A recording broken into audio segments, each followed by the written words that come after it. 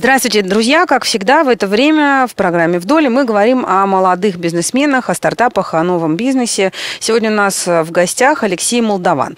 Здравствуйте, Алексей. Добрый день. А, Вы э, занимаетесь рекламой. А, ну, одной из частью, да, наружной рекламы. Что из вас, э, что, что из себя представляет ваш бизнес? Как называется ваша компания? А компания называется Импульс АДВРУ. А, Мы занимаемся непосредственно производством вывески, штендеры, там, стелы, всякие конструкции. Наружная реклама. Да, да. А, Сколько у вас человек в штате? Какой оборот компании? Ну, сейчас э, мы расширяемся пом- помаленьку, то есть как раз вот э, наступил момент, когда нам необходимо масштабироваться. Вот, и сейчас планируется еще добор. Ну, сейчас где-то около пяти человек работает. Пять человек, оборот? Да. Ну, последний оборот, последние данные, ну, где-то полтора-два миллиона в месяц. Полтора-два миллиона в месяц. А компании сколько лет? А в сентябре будет год. Молодая Ну совсем да. компания. Сколько из этого из этих полутора-двух миллионов вы можете э, позволить себе в качестве зарплаты? А, ну, и я как бы инвестирую обратно в компанию дальше, потому что сейчас есть моменты, мы хотим и субсидии взять на, скажем, оборудование дополнительно докупить. Вот, расширение непосредственно цеховых так, мощностей и всего остального. Ну, себе можно там 150-200 позволить. Всего 150-200 из полутора миллионов. То есть все остальное пока приходится вкладывать обратно в бизнес. Ну, да, да, конечно. Нам больше не надо, этого хватает для того, чтобы себя нормально чувствовать и как бы жить, жить в достатке, скажем так. А, ам, вы работаете только в Москве, М, Москва, Москва, Москва, Подмосковье, да. И да. вы сами производите, да? Ну это- да. То есть вы не просто ее монтируете. а- Нет, мы производим сами, то есть э, есть у нас, э, ну, как с самого начала все это начиналось, мы, скажем, познакомились с разными компаниями, которые нам предоставляют там услуги по нарезке, материалы и все остальное, и мы собираем уже. То есть непосредственно у нас происходит дизайн-проект, уже по этому дизайн-проекту идет раскрой материала, все это мы собираем в цеху и вешаем. А у вас какая-то есть специфика по, ну, по клиентам? Вы работаете для города или вы работаете для частных лиц или Не, для в основном компаний? частные лица, да. Частные компании, лица да. и компании. Да, да. Как они вас находят? Ну, вся история началась с тендеров, которые мы э, непосредственно в интернете искали. Вот, и когда уже что-то находили необходимое, участвовали в тендерах, давали хорошие условия и по срокам, и по решению техническим каким-то. Вот, последние, ну, и по- после этого компании, которые непосредственно мы работали, у них э, возникал момент, что принцип сарафанное радио. То есть э, нас уже рекомендовали другим компаниям, другим. И так получилось, что мы без рекламы, чисто на, на тендерах уже начали поднимать как бы свою компанию. И сейчас вы тоже продолжаете привлекать клиентов так приблизительно вот через личные связи или уже какие-то новые способы используете? Ну, Пока знаю, нет, мы с- до сайта не дошли еще руки, мы его еще не закончили. Кое-что там в Фейсбуке постится, уже готовые работы, которые мы делаем и показываем, что вот у нас это есть. Если кому-то надо, мы портфолио скидываем в Фейсбук и все. И рекламу такую прямую тоже вы не, себе не делаете? Нет, нет, сейчас уже чисто на сарафанном. Ну, нам достаточно, ну, в принципе, вот э, та масштабируемость, о которой я говорил, она вот как раз к этому подходит к моменту. То есть э, в любом случае наш, э, скажем так, наша деятельность, она сезонная. И сейчас, например, вот слишком сильно выкидывать в рекламу нету смысла, потому что какой-то спад сейчас будет в, в- в августе. августе-сентябре, да, потом опять какой-то подъем, и январь-февраль вообще нулевые месяцы получаются. И у вас январь-февраль нулевой месяц. не- Вроде бы у нас корпоративы, а у вас реклама, а все равно... Мне кажется, никто не работает в эти месяцы. Да, это точно. А, Ну, э, как я понимаю, сегодня вам работы вот так вот хватает, и, в общем, пока, пока вы не расширите свои собственные возможности, вам и новых клиентов привлекать нет смысла. Да, в принципе, нам сейчас приходится прибегать к э, наему там, временного персонала вот, для выполнения определенных работ, потому что, в принципе, э, мы потихонечку, помаленечку находим уже свою узкую нишу, вот, чтобы уже конкретно в ней развиваться усиленными темпами. А что это за узкая ниша? Это, к, э, ну, она на уровне строительства, и, ну, вы понимаете, фамилия у меня Молдаван. Да, много людей, которые занимаются непосредственно э, и строительством, и там отделкой квартир, всего остального. Вот. А мы забираем мужскую нишу, которая вот на грани рекламы и строительства, это коттеджные поселки, вот оформление полностью под ключ. Ух ты! Оформление... э, э, Коттеджных поселков. Да, то есть э, непосредственно там стела, например, которая показывает у дороги, как проехать. Потом заборы с баннерной тканью, которые там непосредственно ре- Продается. рекламные, да. Ну, большие, как бы. Вот потом внутренне, например, внутри там указатели со светодержащим оракалом, которые показывают, там какая улица, где что, там на домах. Ну, вот такого плана. Слушайте, ну это вообще, конечно, удивительно. Каждый раз я, когда разговариваю с людьми а, а, а, об их бизнесах, для меня такие открываются вообще непознанные дали и горизонты ну. новые. Кто бы мог подумать, что да, действительно, это же тоже нужно. Это же ну, тоже... Это очень большие объекты, очень большие как бы тоже и трудозатраты, и как бы очень много нужно там и с землей повозиться, и многие рекламщики просто в это не идут, а мы уже ну, увидели для себя, ну все, значит, надо работать в этой связи. Да, структуре. это прекрасно, когда у тебя вдруг уже вырисовывается твоя узкая специфика. Но ведь так было же не всегда. Расскажите, пожалуйста, из какой вы семьи и э, откуда эта предпринимательская жилка в вас вообще? Ну, история такая длинная, побросал, так скажем, по свету немножечко. Да, родился в Приморском крае, жил да, в Молдове. Под, под Владивостоком, да, Ничего под Владивостоком. И, а, ну, отец военный был, вот, и тогда не смотрели на территории, расстояние, ничего. Как бы. Так, на самолет посадили, все, 9 часов ты там. А, ну, там мы прожили а, до 89 -го года, как раз когда в России начинались а, моменты с перестройками, со всеми делами. Вот. И а, получилось так, что семья решила на историческую родину, там, где дедушки, бабушки, родители. На Украину? Нет, в Молдову. А, в Молдову. Да, туда мы попали в 89-м. Потом а, всегда было какое-то непонятное желание что-то изобретать, что-то делать, что-то, какое-то новаторство, что-то привносить. Папа военный, мама? Мама экономист. Угу. Да. И а, получалось так, что а, не хотя, может быть, даже того, а, не ожидая, да, получалось, что а, в коллективе каком-то становился неформальным лидером. Потом это уже начали замечать там преподаватели в школе и выдвигать на всякие посты. Как это, э, старший в звездочке? Да-да-да, типа Сначала, потом член совета дружины, да? Ну да. Какой-нибудь там председатель отряда в пионерском лагере. Ну, это, это уже когда было замечено а, определенными там, людьми, да, в школе, вот, то тогда они там выдвигали на старосту класса и там а, председателем школьного комитета, что-то такое. А вам нравилось это? В начале, в начале это было немножко как обуза, наверное, так, да. То есть, ну, все бегают, да, я за всех отвечаю, да, там. Это. Вот. Но впоследствии, впоследствии, когда а, был понят принцип, самое главное, да, сначала заработай авторитет, а потом авторитет будет работать на тебя, тогда ты уже знаешь, что вот этими вещами можно пользоваться.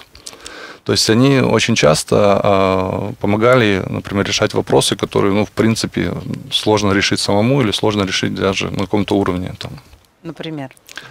Ну, например, были у нас там какие-то там хулиганские выходки у нашего там класса еще кого-то, вот, и э, там вплоть до отчисления от школы, но вот это мы все решали уже непосредственно там с руководством школы. То есть при моем вмешательстве этим можно было решить. То есть то есть а, а, организаторские способности и плюс вы, получается, хороший переговорщик. Ну, да, наверное.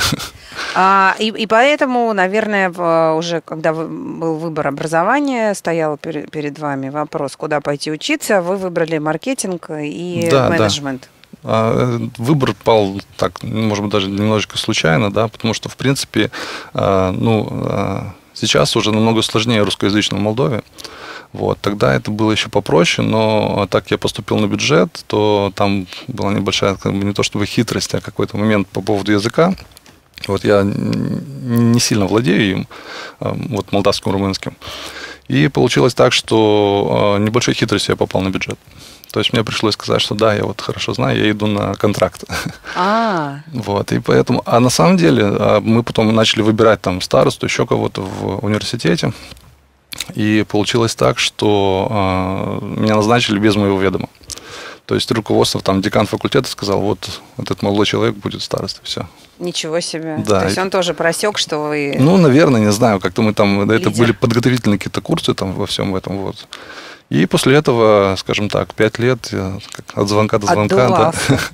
Но получилось так, что признали лучшим старостой за все эти годы. Ничего То себе. там менялись, во всех остальных группах менялись люди, у нас нет. Как, бы, как было, а ваш, так и есть. А это интересно, я уже забыла. А в университете что входит в функции старосты группы? Ну, на самом деле, это, а, скажем, налаживание диалога между а, руководством факультета и непосредственно группой. То есть, если что-то, какие-то моменты организаторские происходят, то а, вот человек, который все это разруливает. То есть, в принципе, у вас э, способ, ну как, э, умение разруливать любой, как в этом, в криминальном чтиве. Мистер Вулф, он решает все проблемы. Ну, Это уже такое было с детства, так, да. с детства закаленный трудами. Да, и мы непосредственно уже в университете э, Так подожди, а, а, да. подождите, а незнание молдавского языка на этом фоне, оно, в общем, простилось сразу, да? Ну, в принципе, я вот Бельце, это, скажем так, второй город по величине в Молдове, и он является полностью русским, являлся до какого-то времени, пока не стали там разъезжать все остальное. И не, не стали какие-то националистические вот последних лет э, веяния в Молдове. И, и уже э, там стало понятно, что там делать нечего. Ну да, стало понятно это лет пять назад, наверное. И вы переехали в Москву? Нет, я в Киеве жил потом еще. Ну, сначала в Бельце, потом в Кишиневе, вот после, уч... как закончил обучение. Вот, и потом уже в Киеве, в Москве, да. А, а в Киеве что же надо знать? Украинский язык? Но Киев чем... Э, нет, там не так все сложно. Скажем, э, Киев, он тоже как бы много, многонационален, как Москва, потому что в основном, э, вот, скажем, украинский это западенси. Это туда, западная Но, тем Украина. не менее, в Москву-то вас все равно перенесло. Оттуда об этом чуть попозже. Это программа «Вдоль». У нас в студии Алексей Молдаван, руководитель собственного рекламного агентства, который занимается наружной рекламой. В Киеве, почему вы в Киеве не задержались тогда? А чем... Э, И чем занимались там? Да, чем сложно в Киеве. Ну, в Киеве занимался, как бы, тоже пытался начинать какие-то свои деятельности, бизнеса, да, то есть это было тогда еще, когда ВКонтакте э, не банил за массовые рассылки и все остальное. Вот, получалось так, что э, мой знакомый, он имел хорошие связи с американским сайтом Soccer.com, вот, и это Киеве... про футбол? Да, это футбол. И а, у него там были связи в Америке вот насчет всего этого. Я раскрутил группу где-то до 6 тысяч человек. Вот, и за, там, за полтора месяца именно футболистов, которые занимаются футболом. И, а так как в Киеве 2012 год, он являлся таким Чемпионат футбольным Европы. годом, да, да, да, да, да, то на фоне этого у нас очень шли продажи именно бутсы, там, мячики, там все такое. С символикой? Не символика, мы просто заказывали хорошую обувь. Даже вот из э, Динамо Киев у нас были клиенты, которые покупали а, бутсы и mm-hmm. да, там гетры и все остальное. То есть мы новинки могли привезти на рынок, которых еще даже не было их, не завозилось. Так, ну это был в общем неплохой бизнес. Или год футбола закончился и Нет, дело в том, дело в том, что а, чтобы жить в Украине, а, вот гражданам стран СНГ необходимо там скажем так, не, просто регистрироваться, а получать э, ну, документы определенные. Потому что три, а, максимально сколько, сколько можно находиться в году, это, а, если не ошибаюсь, 180 дней, то есть 6 месяцев. То есть ты должен находиться 90 дней в стране, потом на 90 Уезжай. дней выехать, и потом на 90 дней въехать, и опять на 90 выехать. То есть возникли проблемы с легализацией? А, нет, фирма у меня там до сих пор есть, но я как бы на нулевом балансе не, не пользуюсь ею. Единственное, что нужно было решать тогда. И как бы возник вопрос, что мне предложили э, ребята, с которыми я работал в интернет-индустрии, сказали, ну, слушай, давай попробуем в Москве. Ну, давайте, приехал. Приехал да. и снял квартиру.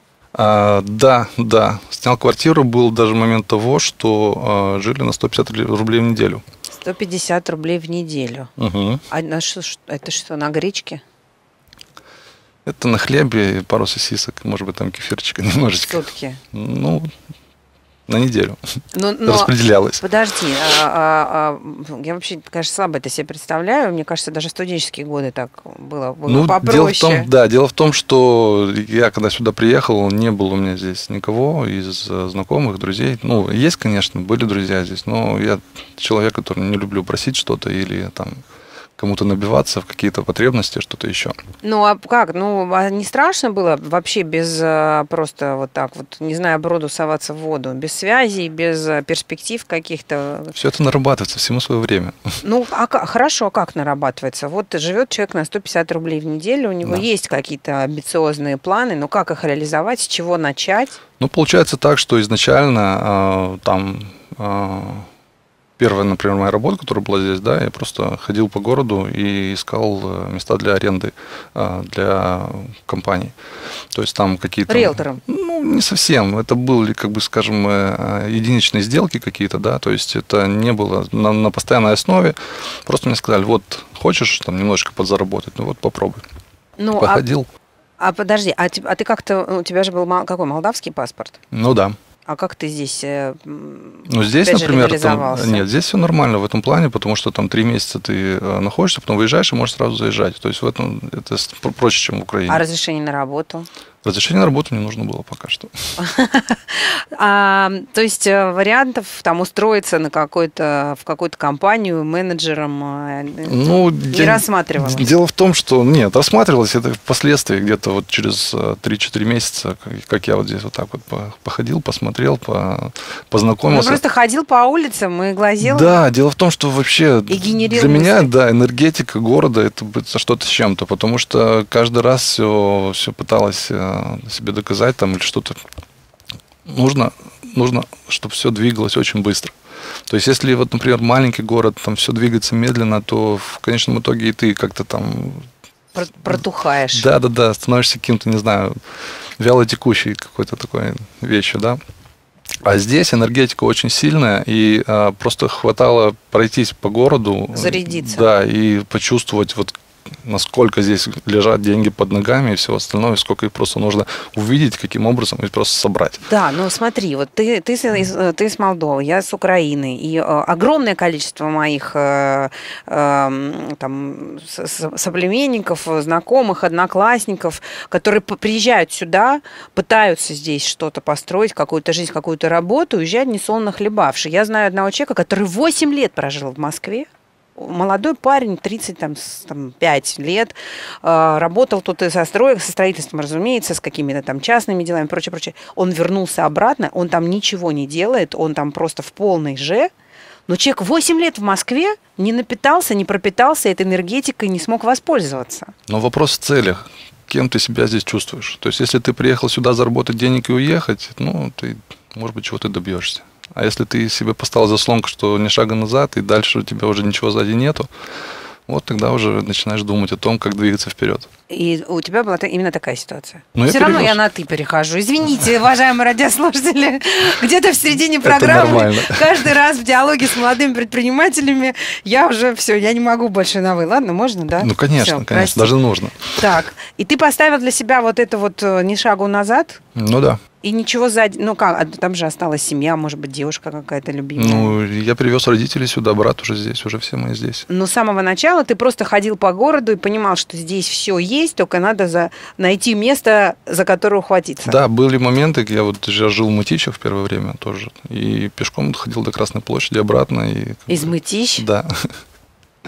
Ну, это заняло, да, сутки заняло, там, скажем, в 9 утра вышел, в 9 вечера пришел, но вопрос в том, что вот просто ходишь и наблюдаешь за тем, как оно все здесь устроено. Потрясающе. Просто какой-то Ломоносов. А дальше-то, ну хорошо, ну ты, ты, ты, э, ты понял про то, что ты, тебе здесь место, да? да? Это твой город, и ты соответствуешь его энергетике, она тебя не давит, не жрет, слезам не верит. Что ну, да. делать? Что делать? Ты не хочешь работать на дядю. Ну, получилось так, что я пошел немножечко работать на дядю. Вот, но это история полугодовых отношений. Вот. А, и получилось так, что фирма, куда я устроился, они занимались пиаром. Я пришел и сказал, ну, можно сделать наружку. Говорят, ну, давай попробуем. И так на коленках, на, скажем так, в подвалах, еще где-то в гаражах каких-то. Угу. Вот, кое-что собирали, и я наработал первых там 2-3 клиента. Вот, и после этого я подумал, что я уже не могу, просто вот душит меня работа на кого-то, и я ушел. И, и ушел в собственное плавание? Да, открыл свою фирму. С вот. чего начал? А, начал... Э, С офиса? Нет, нет. Офис, в принципе, офис в Москве, это, скажем так, э, затратная роскошь. часть. Не то, что роскошь, для начала это даже просто нет необходимости. Потому что в некоторых вещах, э, ну, скажем, здесь никто не любит приезжать в офисы маленьких компаний и разговаривать с ними насчет какого-то заказа, там, там 300-500, там, до миллиона, да. То есть потом уже хотят приехать на производство и посмотреть, как это все производится. Вот. А изначально в офис это ты постоянно берешь кейс с собой, вооружаешься телефоном и едешь. Берешь свое портфолио? Ну, портфолио высылаешь в основном на e А, даже быть, так? Конечно. И едешь просто непосредственно разговаривать с людьми. Да, приехал, посмотрел, что они хотят. Ага, вот это, давайте, может, предложим такие решения. Если решение как бы не находится, дело в том, что, я не знаю почему, но рынок очень ленив плане такого. Вот э, компании выросли и дальше э, не предлагают альтернативные решения какие-то. То есть они привыкли работать там с одними материалами, ну все, значит, так оно идет. Хотя сейчас э, Технологии. Намного, намного позволяет лучше, больше использовать, качественнее делать это все. И даже вот э, те же самые затраты, ну, первоначально все рассчитывают, вот нужно это сделать, такие-то затраты могут быть, да, а потом подсказать, что если мы сейчас, например, затратим там на 15% больше, то впоследствии в эксплуатации это будет намного дешевле. Ну, вот такие решения, может, как раз и как-то подкупают клиентов, и возникает момент, что у нас даже вот какие-то доверительные отношения, и многие вещи, скажем так, вот нужно сделать то-то, окей, приехал, посмотрел, сделал решение, дал, вау, все, супер, работаем. Но, но это сейчас, а в самом начале, смотри, ты человек, ну, скорее с гуманитарным образованием, да, ну, менеджмент в, об, в области там маркетинга, реклама, ну, ю, да. юриспруденция, а то, чем ты сейчас занимаешься, это почти, ну, это техническая история, да, производство, ну, монтаж, демонтаж, ла-ла-ла. Не, ну я же не сам монтирую это все. Но все равно в этом надо как-то разбираться, где, как ты этому учился? Ну, дело в том, что у меня, э, скажем так, в Молдове были свои бизнесы, да, то есть, которые начинались. Вот, это у меня там было и рекламное агентство, я вот даже широкоформатную печать себе взял, и колл-центр свой открывал, вот, и там выборы поддерживали одно время, то есть довольно-таки сильно. Много всего попробовал. Да, да, да, да, да. Вот. А уже оттуда, оттуда уже какие-то пошли, например, э, там, желание здесь что-то добиться. И опыт тот, который у меня был, на самом деле, а, не знаю, как сказать насчет этого, но а, уровень некоторых вещей там... Здесь просто не так придираются к качеству, на самом деле. Там а, люди не могут платить больших денег за это все, но каждому вот деталечки mm-hmm. тебе просто вырванные годы могут сделать. Здесь это тоже есть, да, ты готов там, но маржа, та, которая выстраивается здесь, она намного выше, и, скажем, рыночная цена, которую, например, предлагают, это это заоблачные цены. Но а, э, ты же не сразу начал с производства, да? То есть вот сначала вы делали какие-то визитки, вы, вы предлагали какие-то креативные решения, или, или это уже изначально здесь или было там? здесь, в Москве? Нет, здесь э, на посредничестве можно очень много зарабатывать. То есть само посредничество, оно, э, ну, разница между тем, чем ты можешь купить, если ты знаешь, где купить, и э, с тем, как ты можешь продать, то здесь это небо и земля. То есть ты начинал как посредник? получается? Ну, не совсем. То есть э, я привозил сюда несколько человек, да, вот они э, уже там мои работники, которые со мной уже долгое время работают, вот, и просто говорил им решение, как это сделать.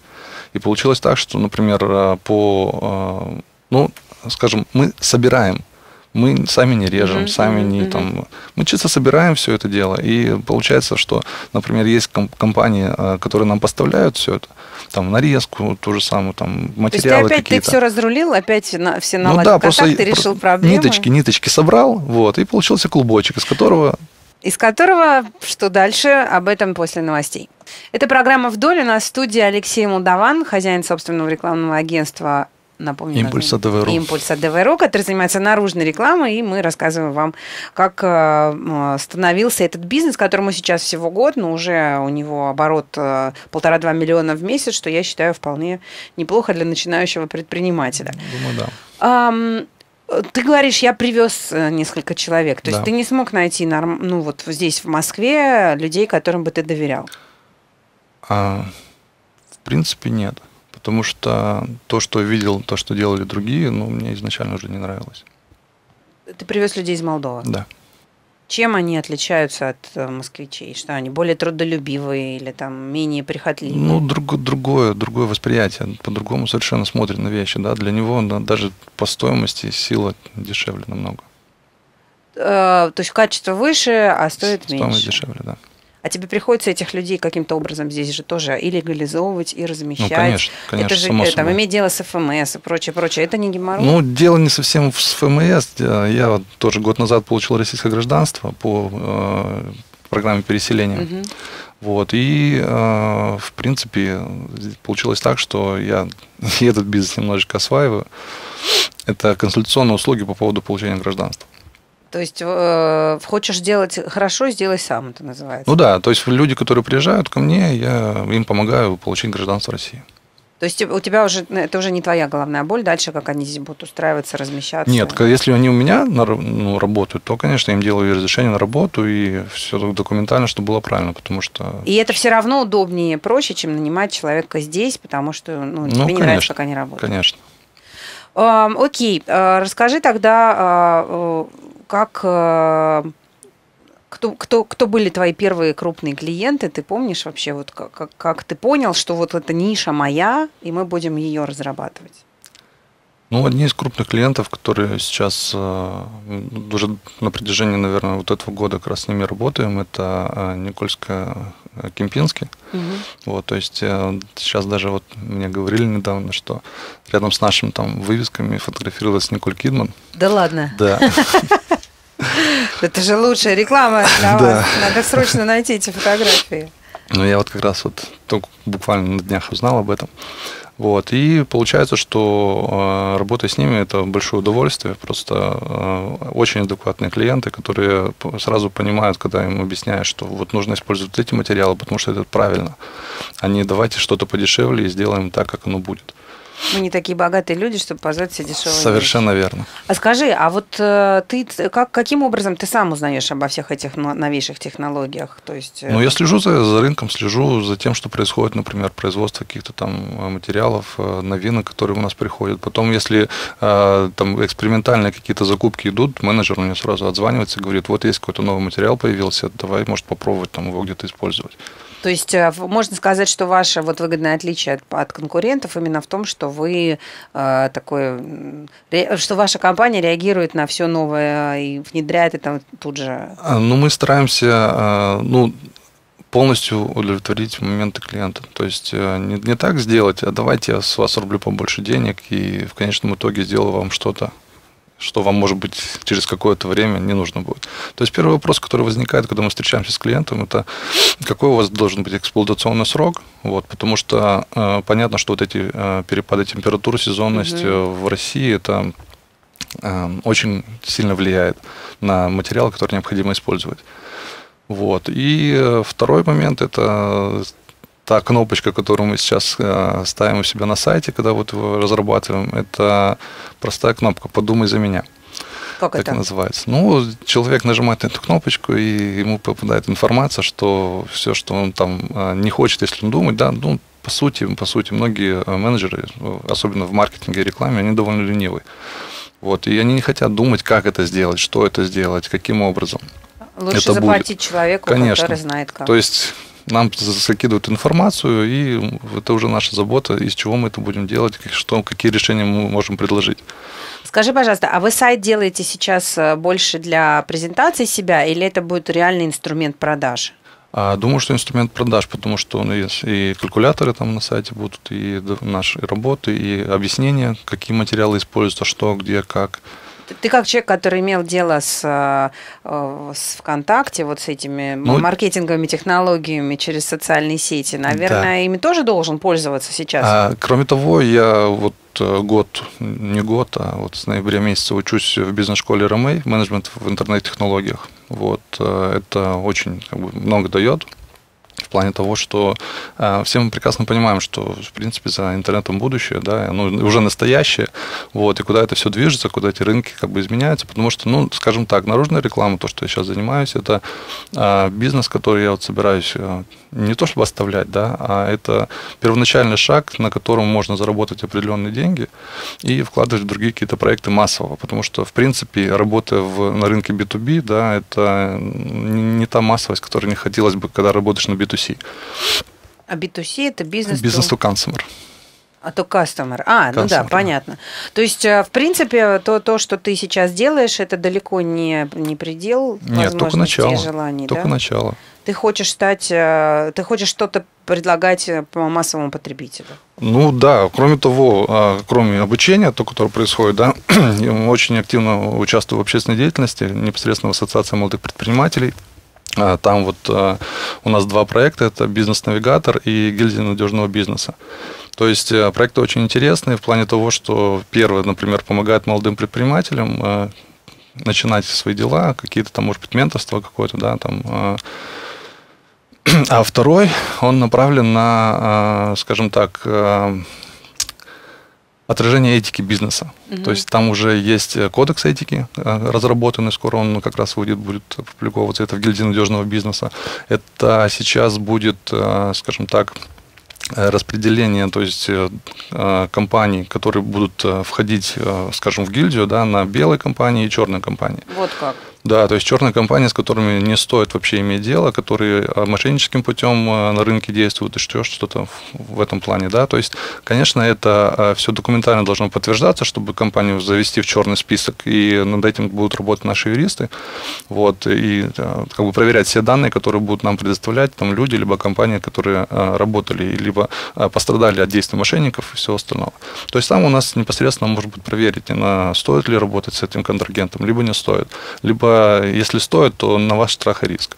Ну, а сам ты пришел в эту ассоциацию, а, чтобы, чтобы заниматься этой общественной деятельностью, или она действительно тебе чем-то помогла, какие-то там, ну, какое-то ну, образование? Да, первоначальные мотивы это было непосредственно а, создание партнерской программы с, а, скажем, с предприятиями, которые уже находятся в ассоциации.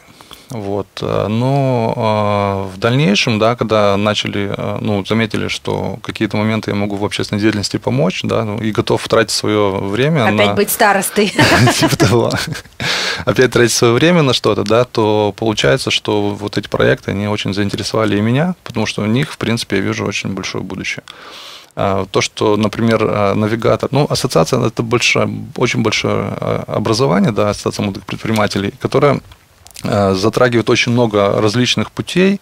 Вот. Это и общественная дума сейчас э, сделано было да, в рамках ассоциации.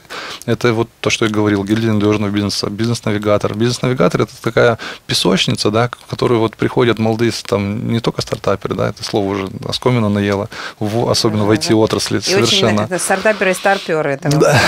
две крайности. Да.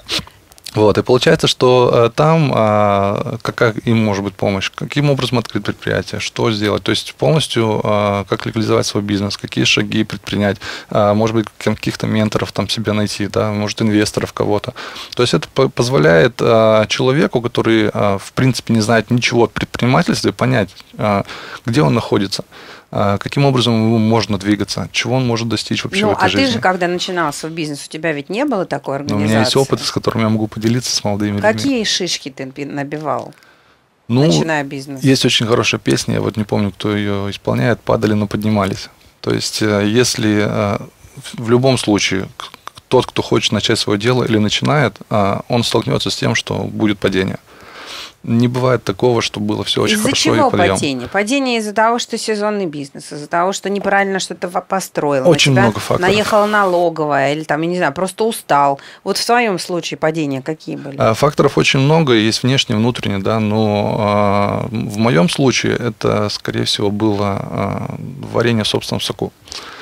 Да, то есть э, э, бизнес рос, э, как бы все было замечательно, но некоторые вещи за счет того, что, там, например, ты больше времени уделяешь там, производственным моментам, там, организации, ты не всегда можешь уловить тренды, в каком направлении. Да. И очень часто бывает не то, что тренды, да, а в России, ну, в России, как в любой, ну, в России это особенно чувствуется. Это две проблемы первоначальные. Это как найти первоначальный капитал, да, и как не умереть от масштабируемости. Mm. Потому что когда ты начинаешь, и у тебя начинает это расти, а потом а, ты а, делаешь очень какие-то правильные, умные шаги, да, и а, тебя просто заваливают потом звонками и все остальное, и ты просто не, не можешь это, не можешь, да, обеспечить все это. То есть к масштабируемости тоже нужно быть готов и финансово, и морально. Вот, у меня даже телефон а, совершенно я не ставлю его на звук, потому что любая мелодия за, буквально за две недели она уже начинает Сводит надоедать. Да, да, да. То есть, э, подожди, э, это парадоксально. Ты двигаешь свой бизнес, ты его расширяешь, ты стремишься к тому, чтобы зарабатывать больше денег и делать больше, и вдруг, когда это к тебе приходит, ты к этому не готов. Не готов, да. Очень многие не готовы, и очень многие на этом сгорают. Как? И что? И, что? и, и на этом кончается бизнес или что? Нет, что, ну люди просто... с ума или что? Нет, они падают. То есть происходит падение.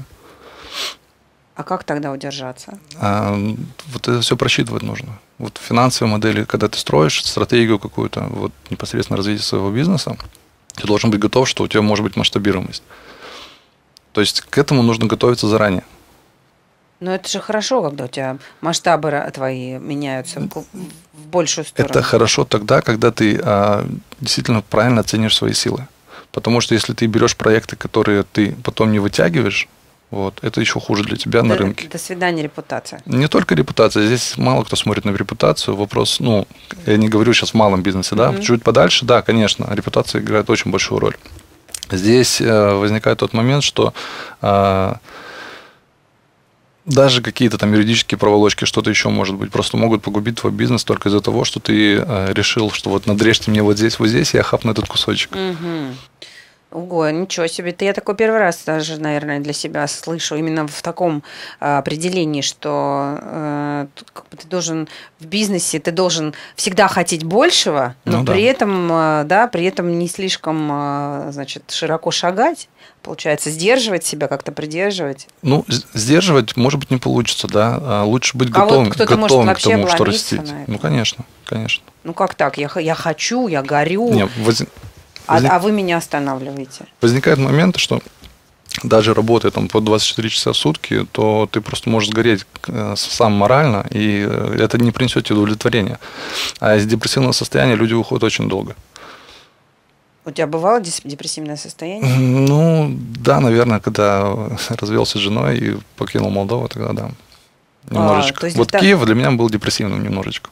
Подожди, а вот это такой момент, который мы упустили. То есть э, для тебя так получилось, что удачи в бизнесе э, повлекли за собой неудачи в личной жизни? А, не совсем. Почему, этапе? почему Молдова для меня стала страной, скажем так, э, запретной, да, в плане ведения дел и всего остального? Потому что там вот тогда я действительно, когда варился в собственном соку, я не, не успел увидеть момент масштабируемости, и мне просто некому было помочь как бы в этой сложной ситуации.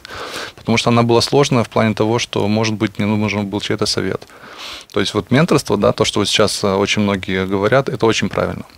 Единственное, что, конечно, менторы, они не бескорыстный, вот, но э, менторство это, это очень правильно, потому что многие шаги, которые ты можешь э, сделать правильно, неправильно, да, то есть тебе могут подсказать. Мы продолжим разговор с Алексеем Молдованом после новостей. Это программа «Вдоль». У нас в гостях э, директор рекламной э, компании «Импульса ДВРУ» Алексей Молдаван. Мы говорим о, о, о том, как падать и подниматься, когда ты начинаешь свой собственный бизнес, когда ты молодой предприниматель без опыта. Эм, вот вот э, э, то, что ты говоришь о менторстве, что оно не всегда безвозмездно, мне кажется, это наоборот хорошо, потому что я в своей жизни э, знаю на все сто процентов, что халява наказуема. Ну, и, да. и все, если ты хочешь что-то получить, нужно всегда за это как-то заплатить. А... Но иногда приходится платить слишком высокую плату. Вот видишь, как ты говоришь, что ты переехал, уехал из Молдовы, и из-за этого разрушилась твоя молодая семья. Сейчас, ну, да. Э, сейчас у тебя получается совмещать бизнес с личной жизнью? Ну, наверное, не заморачиваюсь насчет этого сильно. Пока, вот пока в приоритете дело. Ну, оно было, мне кажется, и тогда, скажем так, я женат на работе. По-другому не получается. Либо ты э, даешь полностью бизнесу, да, либо ты живешь праздно или как там еще. Ну, почему? Про... Ну, надо же как-то продолжить свой род. Нет, согласен, далее. согласен. Насчет этого я полностью согласен, но, а, опять же, до трех лет, пока компания не становится на ноги, то невозможно совместить полностью, как бы это хотелось. Потому что возникает момент, что очень часто на тебя обижаются, что а почему ты последние деньги вытаскиваешь и закидываешь их обратно в дело, или там в материал, или что-то. Ты видишь как бы цель, которую идешь, и эта цель, она не кажется тебе чем-то там невозможным. То есть это но, вполне достижимо, ну, это конечно, не какая-то голубая конечно, мечта. Конечно. Ну, ну да, но найти подругу дней суровых, которая со всем этим смирится и будет как жена солдата расти с тобой до генерала, да, это не так просто, особенно в Москве. Ну, в Москве, думаю, это нереально. Ну, послушай, ну, тебе же тоже, наверное, хочется там, я не знаю, съездить отдохнуть, купить хороший автомобиль, там, я не знаю, новые часы, в конце концов. Это тоже важно, как ты выглядишь в бизнесе. Нет, конечно, я согласен. А ты себе не элементы... позволяешь Нет, почему? Почему? Элементы все эти есть. Автомобиля у тебя нет. Есть два. Правда? Да. Но я не езжу, я, за рулем, я за рулем не езжу. Я просто, ну, как бы, ну, не мое это. То есть, для, например, в Москве мне проще на метро передвигаться и все остальное. Есть у меня автомобиль, вот в прошлом году даже, а, когда в декабре я купил еще один себе. Тебя возит водитель, если что. Ну, когда надо, тогда да. Но я, я очень редко езжу на автомобиле. Если мне нужно куда-то выехать, и то сейчас это с пробками, с всеми делами. Удовольствия не приносит. Ну да. А что, автомобили тогда стоят просто, и ты ими Ну, любуешься? Ездят мои ребята. А, ездят на, на заказы? Не, ну это грузовые мне отдельно. Это не касается тех автомобилей, которые есть.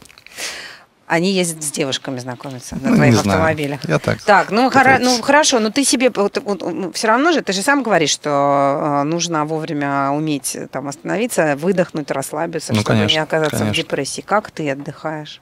Что ты себе позволяешь на заработанные деньги?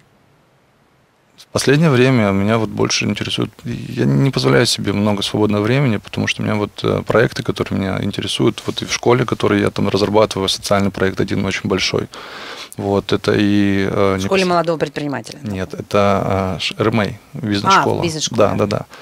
В интернет-технологиях, то, что Мгм. у нас там, да. А В бизнес-навигаторе, то есть принимаю очень активное участие, да, там э, потом вот сейчас в гильдии надежного бизнеса собираюсь как бы принять очень активное участие. Вот готовлю какие-то планы, потом ко мне подходят э, те же самые предприниматели, там, не знаю, с которыми я, ну, как так либо встречаюсь, да, там знакомлюсь, тоже, которые из Молдовы, например, тоже, да, и мы разрабатываем стратегии тоже продвижения дальнейшего как бы развития на рынке. То есть и я им помогаю в этом плане. Потому что они, например, умеют там завести товар, какие-то деньги имеют, а каким образом его продать, что, что сделать, ну, приходится как бы с ними общаться. И, конечно, как мы говорим, менторство не безвозмездно. Вот. Ну и получается так, что ну, пытаюсь, да, там, может быть, там спорту что-то уделить время, еще там чему-то, но очень редко. Ну, то есть пока что ты э, удовольствие, удовольствие от зарабатывания денег ты пока еще не, не позволяешь себе испытать. Ну, удовольствие всегда его можно испытать, да, там, например, определенным моментом. Но, а, Купи- Купить печеньку. да, плюшку, плюшку, сто процентов. Как сказать? Даже не знаю, как ответить на этот вопрос, потому что я не задумывался насчет того, какое у меня время свободное. Его просто нету.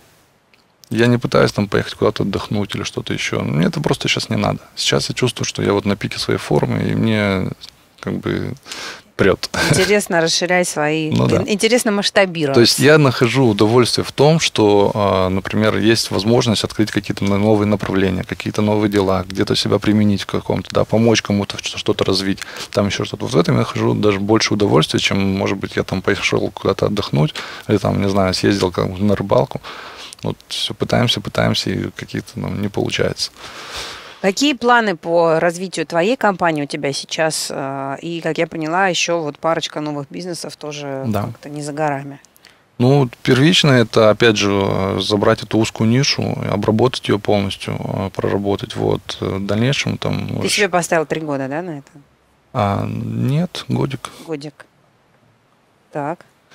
Вот. Есть э, проект большой, ну, он федерального масштаба. Вот. Это э, такое социальное да, предпринимательство, наверное. Это э, государственное частное предприятие мы собираемся делать. Не знаю, насколько я, правда, общался и э, с э, людьми из Думы по поводу этого вопроса, и мы из непосредственно ассоциации, ассоциации молодых предпринимателей вот обсуждали это. Это помощь э, в создании такой структуры э, по работе инвалидов на дому. То есть э, мы все знаем, что сейчас вот с апреля месяца нам э, дали непосредственно э, приказом Владимира Владимировича, скажем, возможность э, регламентировать э, удаленную работу. Мгм. Вот, это уже прописано в ГЗОТе, да. Вот на фоне этого мы хотим э, создать структуру, да, вот, чтобы э, инвалиды могли, не отрываясь, скажем, как бы, ну, у нас очень большой потенциал людей, которые э, первичная инвалидность каждый год у нас очень, очень высокая, около миллиона человек регистрируется.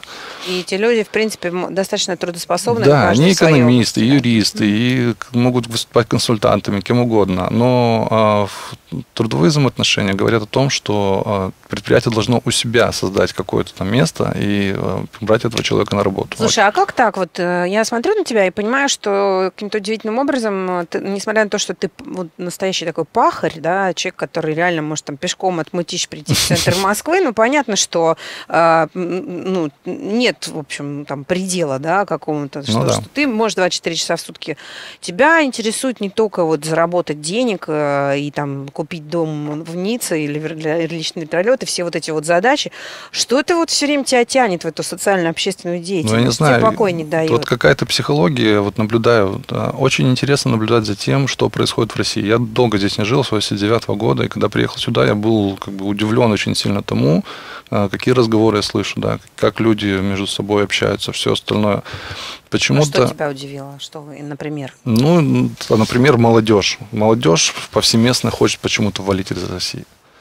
То есть, э, если там общается парень с девушкой там, лет там, 17-18, да, у него идея фикс – это пойти, срубить бабла 3-4 тысячи долларов и валить куда-нибудь подальше от России, потому что здесь нет будущего, нет чего другого. Я хочу показать людям другое, что наоборот, э, вот у нас э, в бизнес-навигаторе, да, есть у меня идея по поводу продвижения духовности человека. То есть духовности предпринимателя, то, что это было раньше, это твоя земля, она тебя питает, а не то, что ты куда-то там э, уезжаешь. Вот даже не помню, какой-то э, бизнесмен, он, живя долгое время в Америке, выходит из России, иммигрант, да, он хотел завести туда землянику, посадить там в Америке. Он привез ее, сорт посадил, получилось не то. Он потом опять приехал сюда, собрал все кустарники вокруг, посадил, опять не то. Земля другая. Земля другая.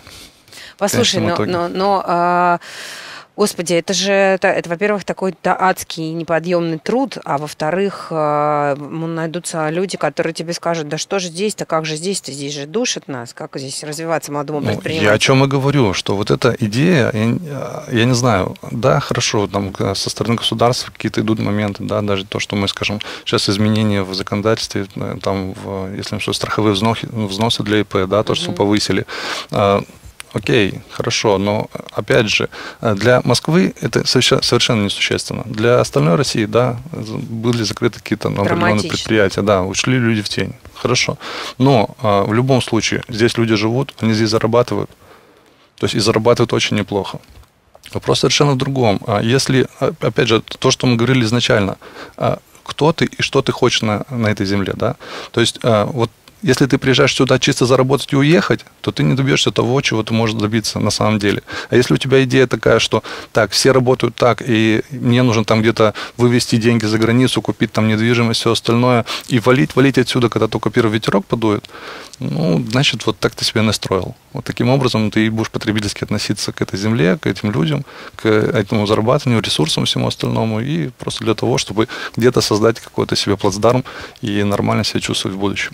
Ну, как правило, большинство людей именно этого и хотят. Создать себе какую-то комфортную среду обитания, заработать денег, а э, потом, вкусно кушать, сладко спать. А потом ноют по поводу того, что это, ай, ностальгия меня замучила по России, а вернуться не могу. Да, а, но это в лучшем случае еще иногда в окна выходит. Ну, Скажи, да. пожалуйста, вот как э, уже человек с таким серьезным опытом э, ошибок и успехов в бизнесе, какие главные вещи нужно знать молодому предпринимателю, который стоит в начале пути.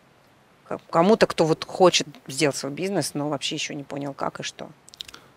Ну, первоначально думаю, вот э, как, э, как мне преподаватели да, говорили, и я с этим полностью согласен, есть некоторые вещи, которые человек э, ни в коем случае при ведении своего дела не должен упускать из рук. Это стратегия и деньги.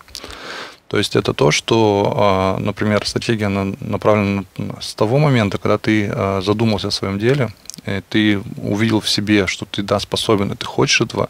Сейчас очень много а, разных программ, совершенно других поддержек, даже государственных по поводу того, что если у тебя есть идея, конечно, это не как, например, на Западе, да, там совершенно по-другому к этому относятся. То есть э, тебя не гнобят за то, что ты потерял какие-то деньги, и э, что-то из этого у тебя получилось или не получилось. Да? Здесь у нас это очень сложно. Опять же, вопрос возникает, что если ты хочешь, пытайся, пробуй, падай, подымайся, делай. Ходи пешком по Москве и напитывайся энергией. Это само собой. Спасибо огромное. Алексей Молдаван был в доле удачи.